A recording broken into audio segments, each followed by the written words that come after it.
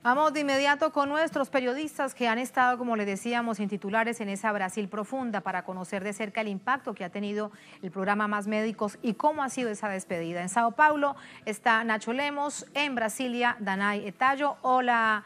Nacho, hola Danay. Nacho, comienzo contigo. ¿Hasta dónde te fuiste? ¿Con qué historias te encontraste? Saludos Tatiana, saludos también a la audiencia de Telesur. En los últimos días, eh, tanto en Brasil como en Cuba, hubo conmoción por la historia de Arnaldo Cedeño, un médico cubano que actuaba en la aldea indígena Bona, una aldea ubicada a dos horas de la ciudad de Marabá, en la Amazonia brasileña, muy adentro de la Amazonia, donde solo se llega a través de avioneta. Arnaldo Cedeño salió de esta aldea donde eh, colaboraba a partir del programa Mais Médicos y se enteró que ya no participaría del convenio entre Brasil y Cuba, ya que Cuba había cerrado el convenio con Brasil por las agresiones de Bolsonaro. Él no pudo despedirse de sus pacientes, hizo una nota en redes sociales y fue, eh, causó eh, mucha conmoción tanto en Brasil como en Cuba porque no pudo despedirse de, la, de los indígenas de la aldea Bona. Fuimos detrás de esa historia, fuimos hasta el Amazonas brasileño, nos encontramos con Arnaldo Cedeño, salimos con él eh, para entender qué es lo que ocurre en el Amazonas brasileño cuando no, qué es lo que ocurrirá cuando no haya más médicos y es lo que está ocurriendo justamente en este momento con la salida de los médicos cubanos. En las aldeas indígenas eh, se depende en un 90% eh, exclusivamente de la acción de los médicos cubanos y la mayoría de las aldeas, debo contarte que eh, han conocido por primera vez un médico a partir de la participación de los galeanos de Cuba. Son regiones muy difícil, de muy difícil acceso, de muy peligroso acceso. Vale resaltar que justamente esta semana, hace tres días, que se encuentra desaparecida una de las avionetas que transportaba a los médicos cubanos hacia estos puntos, estas aldeas de las regiones más inhóspitas del Amazonas brasileño. Hemos realizado un informe, Tatiana, me gustaría que veamos cómo fue el acceso, la primera, la primera mm, llegada de Arnaldo Cedeño nuevamente hacia esa aldea junto a Telesur para despedirse de, sus eh, pacientes en la aldea indígena Bona. Estudios. Ante la salida de Cuba del programa Mais Médicos, el doctor Arnaldo Cedeño Núñez se despide de sus tareas en la región amazónica de Brasil. Su historia conmovió a medios brasileños y cubanos. Tras pasar dos años y cuatro meses asistiendo a la población indígena de la aldea Bona, Cedeño no pudo despedirse de sus pacientes, ya que se enteró sobre su retirada de Brasil cuando había salido del territorio indígena aislado que visitaba cada 15 días. Al salir ese día sin pensar que no iba a retornar, no me ligué con aquello de la despedida, de dar un abrazo. Primero porque ellos no estaban presentes, también no sabían que esa era mi última salida de ahí. Y eso me quedó, me quedó muy, muy como una tristeza aún que no, no supero. Porque también quedaron personas que necesitaban ser reevaluadas en la, en la siguiente escala, cosa que no, no, infelizmente no va a acontecer. Su ausencia se hará sentir también entre técnicas de salud y enfermeras. Es una pérdida muy grande el viaje de él, irreparable.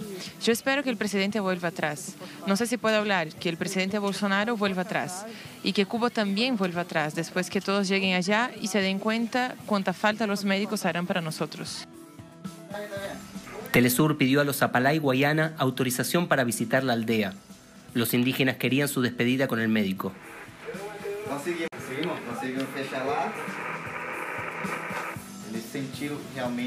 Ellos sintieron la falta del médico. Preguntaron por qué él no llegó a la aldea.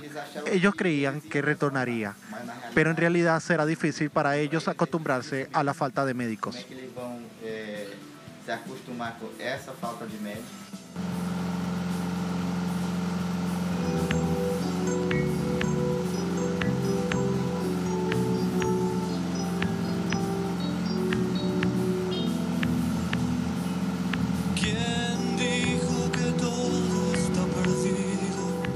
No es responsable por las agresiones del nuevo presidente brasileño contra los cubanos, ni por la resolución del Ministerio de Salud de la isla para defender a sus médicos.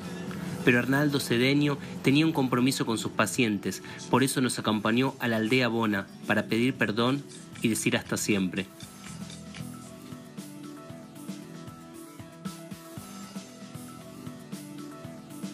Esa es la historia de Arnaldo Cedeño. Debo confesarte que cuando conversábamos con él en español se le escapaban algunas palabras en portugués y también conoce la lengua palay, la lengua que eh, en la que hablan los indígenas de la aldea Bona. Eh, son dos años y cuatro meses de acción de Arnaldo Cedeño y, también debo decirte que será muy difícil reemplazar a Arnaldo Cedeño en la aldea Bona. Vimos las dificultades en carne propia eh, que tienen los médicos para llegar hasta estos lugares y será muy difícil que algún otro médico acceda a esta a este puesto, como ocurre ya en algunos municipios eh, indígenas y también distritos especiales indígenas, que aún no hay candidatos para cumplir con la, con la ocupación de, la, de las vacantes de los médicos cubanos. Arnaldo Cedeño eh, Núñez llegó hacia la aldea y me gustaría que veamos la segunda parte de la nota que realizamos.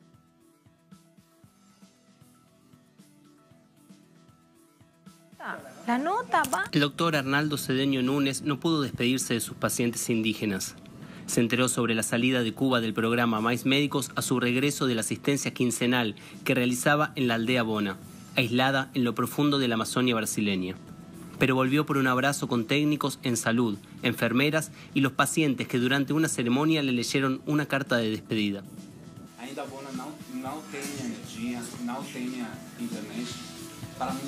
Aunque Bona no tenga energía, no tenga internet, para mí no es necesario eso.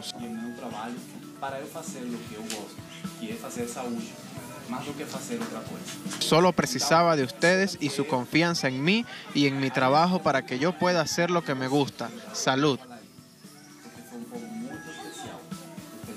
Más que cualquier cosa. Sepan que aunque esté muy lejos de aquí, siempre recordaré al pueblo Apalay, porque fue un pueblo muy especial, que siempre quedará en mi corazón. Gracias. Un abrazo a todos, éxitos y que Dios pueda colocar pronto un médico acá, como ustedes precisan, que pueda ayudarlos como yo quería continuar haciéndolo.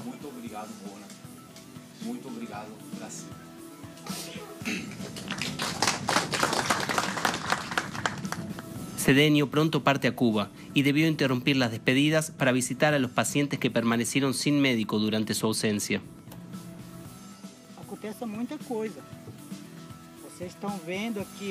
Suceden muchas cosas acá y como ven hay mucha distancia, es muy difícil. No sabemos que ese programa, programa que acabó el médico la asistencia, ese programa que acabó, nos quitó el médico a todos. La comunidad se sorprendió con la salida de Arnaldo.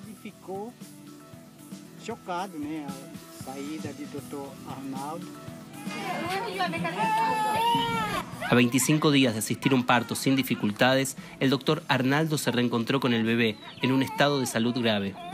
Tras la salida del doctor cubano de la aldea, el recién nacido pasó 15 días sin seguimiento de un médico.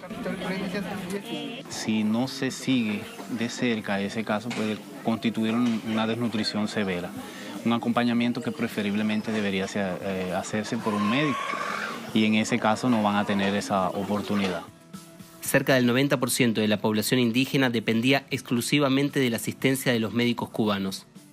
Las agresiones de Bolsonaro que acabaron con la asistencia coinciden con su intención de extinguir las tierras demarcadas, dos caras de la misma moneda, en un genocidio que no cesa desde hace cinco siglos.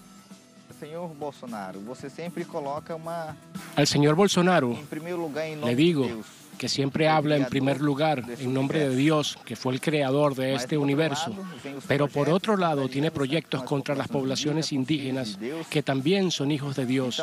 Entonces, no podemos admitir eso. Quedaron atrás las noticias del doctor cubano que no pudo decirle adiós a sus pacientes indígenas. Los Apalay Guayana abrazaron al primer médico que pisó su territorio, y como no podía ser de otra manera, lo despidieron con el fermentado de mandioca brava conocido como cachirí, bebida que utilizaban sus héroes ancestrales. Ignacio Lemus, Pedro Viaba y Julian Asif desde la aldea Bona en Marabá, para Telesur.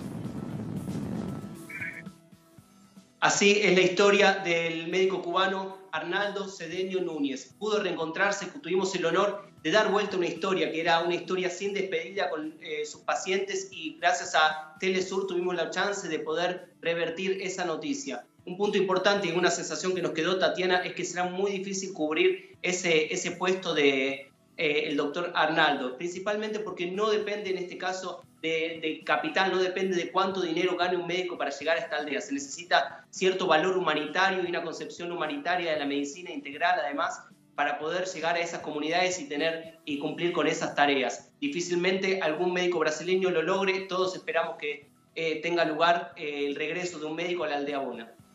Pues ojalá que así sea, aunque parece por ahora tarea imposible. Tremenda historia. Gracias, Nacho. Muy buenas noches.